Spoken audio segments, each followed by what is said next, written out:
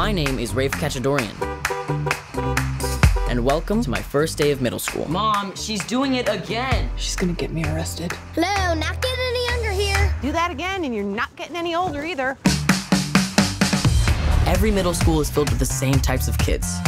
They're the kids you want to hang out with. One for all and all for one. Yeah, just like the Three Musketeers. And the kids you want to avoid.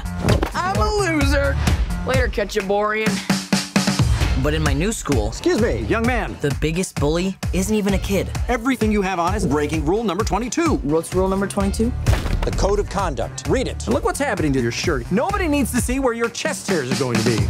So, yeah, this year is gonna be fun. Move it, people. Intense, huh? It's like prison. Don't you see, Rafe? My school, I rule.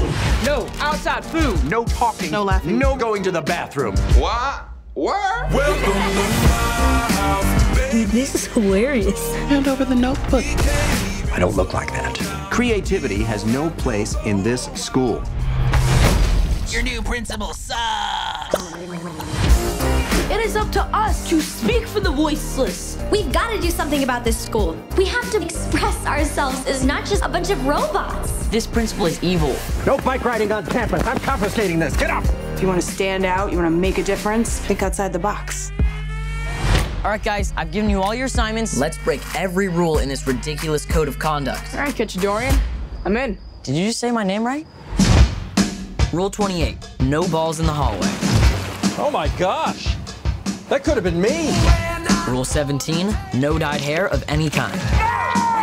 And rule 34 Somebody update Wikipedia, because we're making history, bro. no touching the trophy case. Fish! Feel like a drive? Finally. Mm-hmm. I think this actually good drive. Yippee-ki-yay! I will find the hooligans and I will bring them to justice. Rules aren't for everyone. What did you just say? No way! Whoever did this is committed to the art. How many people have a test that starts with Principal Dwight has three nipples? Well, it's false. Put false. I was born without nipples, for your information, and it looks beautiful.